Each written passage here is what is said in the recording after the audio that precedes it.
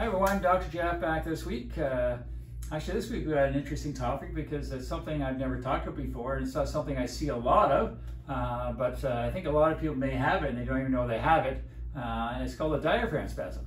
Yep, so first off, what are the diaphragms? The diaphragms are the muscles that help you breathe. So they're right about here. They act as like a pump for airflow. So when you inhale, they move downwards, and when you exhale, they move back upwards. So they pump up and down for airflow.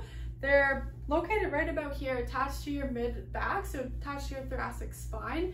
They're innervated by a nerve called the phrenic nerve, which originates from the nerve C345, just from your neck here. One way to remember this is C345 help keep your diaphragm alive. So if you injure these nerves, um, the diaphragm's in a lot of trouble, so it's pretty important. Yeah, so these are those people that like to do deep dives in a shallow pool uh, and they land and hit their head and they break their they break their neck. And if it happens above C3 they're going to die because the diaphragm's going to die. You can't breathe. Um, so kind of important uh, uh, nerve. Um, but a diaphragm spasm people a diaphragm spasm it kind of feels like a bit of a, a, a fullness or sore in your side. Uh, sometimes with people running um, they get a bit of a stitch in their side and and uh, that's kind of, kind of more of a flutter than we call a spasm um, they kind of stop and they, and they change their breathing and it goes away. The diaphragm spasm is actually a spasm, just like a spasm in your calf or, or your hamstring. It's going to be quite painful. Uh, again, a lot of people don't really have it, but feel like a pain in your side, radius around the front.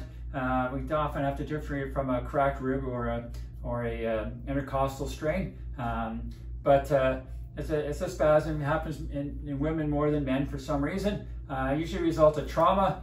So, you know, you get sucker punched in the stomach. I've actually seen it happen with an airbag going off in your car, uh, a fall, uh, a certain way. But the most common cause is overuse. This is people that had a chronic cough. And they're coughing, they're coughing, they're coughing. That, di that diaphragm has to go up and down and, and kind of jerk a lot. Same with a, a, a huge sneeze. I've seen it happen with a huge sneeze before. Um, hiccups.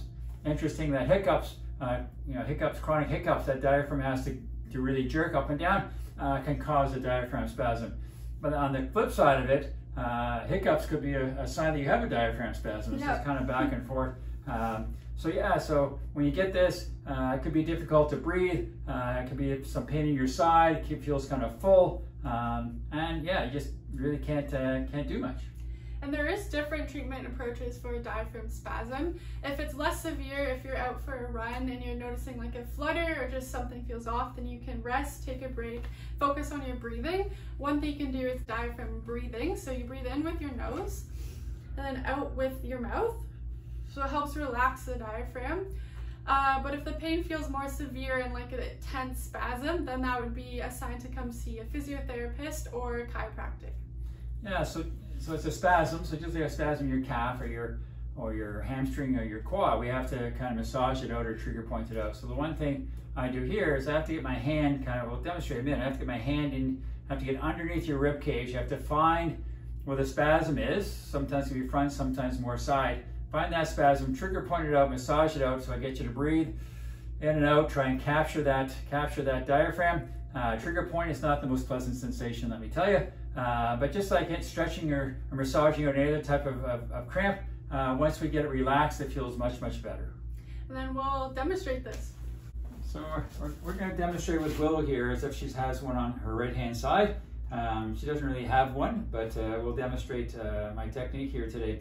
Um, so essentially what I have to do is I have to get down the bottom of her ribs, and as I go in here, I'm to be able to find, she'll tell me where it's kind of, oh, it is a little tender there. Uh, she's to tell me where it's a little bit tender. So what I'm to have her do is I'm to try and get in the, on that, and then she's to take a big breath in. I'm to feel the diaphragm come right into my hand as I feel there. And I'm to kind of feel around and see if there's, there's a little tenderness there, and, and, and get her to breathe out. All right, and I'm to move, capture it again, breathe in, and hold for a second, and breathe out. And again, breathe in, so I'm just trying to get in there, find the trigger point, try and massage it a little bit and out.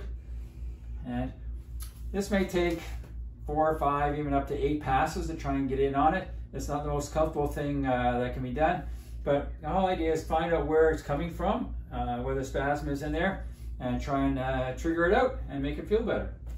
Right, so that's it for our video today. Hope you enjoyed this topic of diaphragm spasms, something you don't see every day. Um, and like always, if you have any questions or future video ideas, please leave them in the comments down below. And don't forget to like and subscribe to our channel.